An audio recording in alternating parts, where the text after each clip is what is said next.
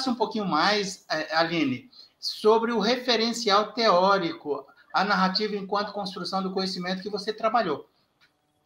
Então, é, como principal referencial teórico, eu tenho o Paul Ricoeur, que ele é um filósofo, é, e eu coloco o Paul Ricoeur para conversar com outros autores, né? Então, eu coloco ele para conversar com o antropólogo Clifford Geertz, para conversar com o Ítalo Calvino, com o Walter Benjamin, que é muito importante para minha tese, e o Michel Dissertot. É, no caso, o, na, na, questão da construção do conhecimento, é principalmente com o Clifford Geertz, que apesar de eles serem diferentes, eles os ambos trabalham com a questão da interpretação.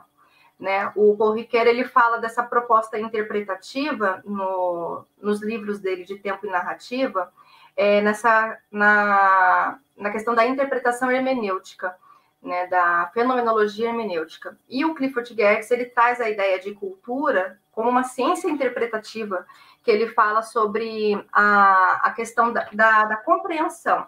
Né? Então, para compreender o que é ciência, você precisa saber o que, que os praticantes da ciência fazem. Então, ele, ele fala da ação e da linguagem no campo da, da questão da etnografia, que é o que ele trabalha, dessa coisa de você ir a campo, você observar. Então, tem uma ação do pesquisador de estar tá fazendo esse levantamento. E a ação para o Paul Ricoeur, na casa, é a escrita do texto. Ele fala sobre a escrita do texto, o autor e a relação com o leitor, né? E, e aí a gente vem com a, a, a, a ficção, né? Porque eu estou escrevendo uma literatura ficcional. E aí vem muito essa coisa na, na área da academia, né? De falar que ficção é, não, não é relevante, vamos dizer assim, né? Eu posso estar tá é, construindo qualquer coisa, qual é o, o, o referencial, o que, que você está levando em consideração. Então, tem muita essa coisa também da ficção não ser algo é, verídico, né, de não ser algo real. Mas é, tanto Paul Ricoeur como Clifford Geertz, eles vêm com a, a, ficção no sentido original da palavra, que vem de fictio, né, que é, é algo construído, algo modelado, é, não que sejam, então, não factuais, né, ou apenas experimentos de pensamento. Então ele, ele vem falando que a ficção ela recria o mundo. Então eles dão um exemplo, por exemplo, do historiador que ele faz ficções também. Ele faz documentos, mas ele constrói ficções porque ele não viveu aqueles momentos. Então só é, é é, é, no caso a primeira, como é que eu posso dizer, de primeira mão. Só um nativo, só quem vive aquela experiência consegue escrever algo de primeira mão. Então, o historiador, a partir da, da análise dos documentos, que ele faz aquela pesquisa documental, ele está fazendo uma análise de segunda mão, tem toda uma relação ali de análise do discurso que precisa levar em consideração. Então, o historiador também faz ficção. Então, o acadêmico faz ficção a todo momento, porque a gente está sempre se debruçando sobre documentos, sobre outros trabalhos, sobre é, construções que foram elaboradas é, no decorrer do tempo. Então, eu venho com essa questão da ficção justamente para trazer a, a experiência e, e, que ficção também é conhecimento. Ela induz a produção de conhecimento, porque faz você refletir sobre algo, né? E eu estou fazendo uma construção que estou levando em conta documentos históricos. Então, é, é tudo tem os personagens ficcionais, mas é tudo baseado no, naquilo que aconteceu historicamente, fatos históricos, né, que me levam a, a escrever essa narrativa. Legal, Aline.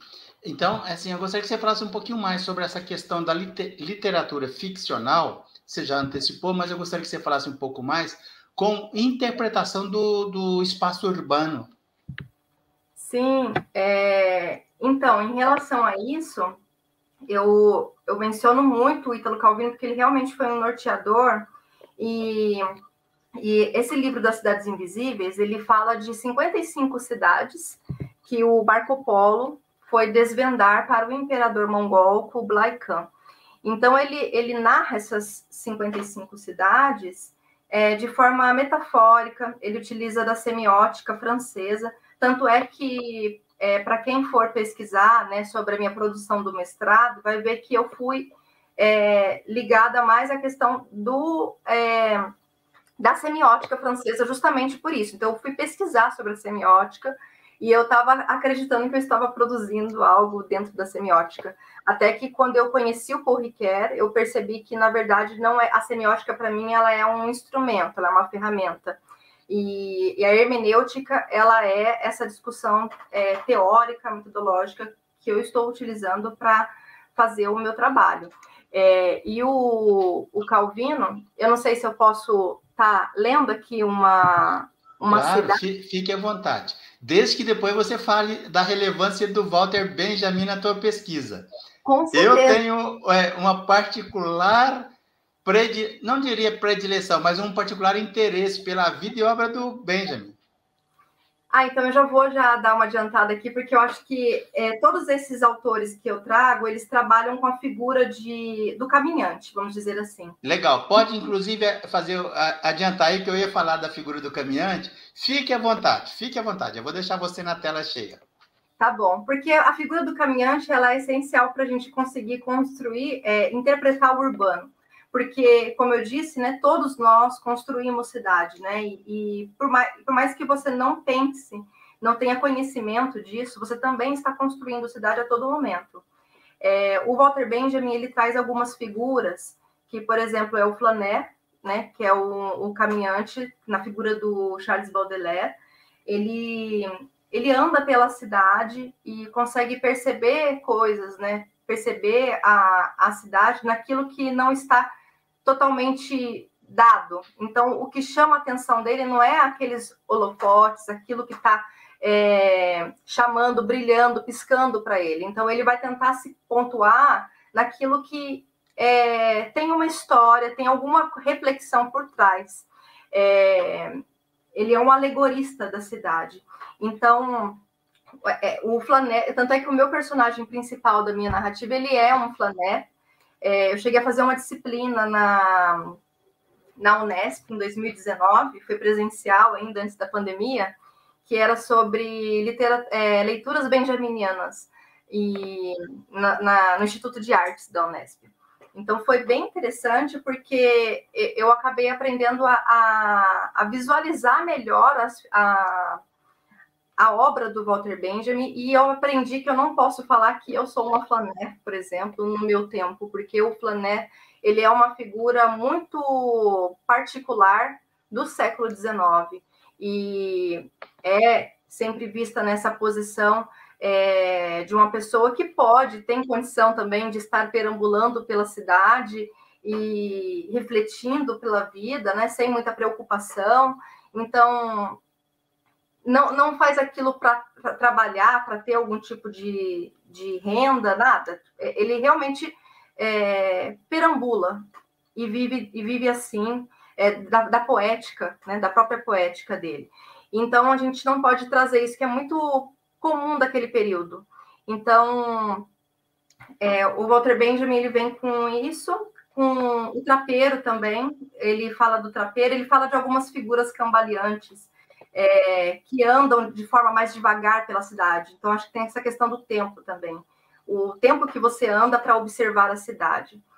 É, e ele faz uma crítica ao Basbach, que é o, aquele que se ludibria né, pela modernidade ascendente que está acontecendo e, e que vai acreditar em, em tudo aquilo da, da, da industrialização e, e, e, vai viver imerso naquilo. Né? Hoje a gente pode ver talvez tenham sim muitos basbaques, né? Que acabam se ludibriando por. A gente pode dizer fake news também, eu acho que trazendo para um contexto atual, é, apesar de não poder usar a figura do Flané, né? Porque a gente nunca, a gente não anda devagar, a gente não anda despreocupado na vida. Eu acho que é muito difícil encontrar alguém assim é, nos tempos atuais. Mas basbaques tem bastante, que é justamente esses que se ludibriam e acabam aceitando é, de forma sem questionar aquilo, né?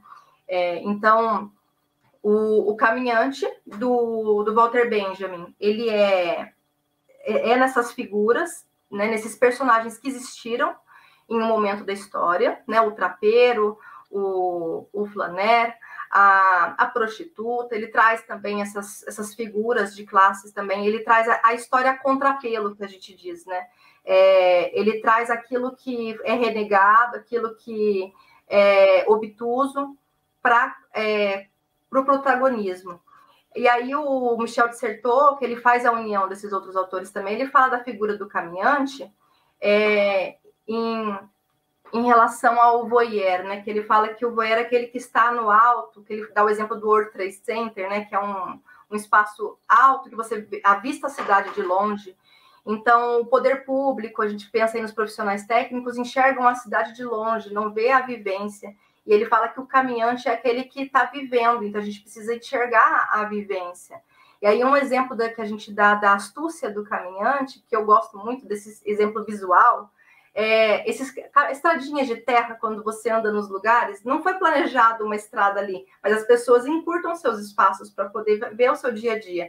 E aí sempre tem aquela grama pisada. Então, essa grama pisada é uma astúcia que o caminhante tem sem perceber. Que aí depois o poder público, a prefeitura, vai lá e às vezes e, e asfalta e faz, né? O, e legaliza aquilo, né? Legaliza aquela construção.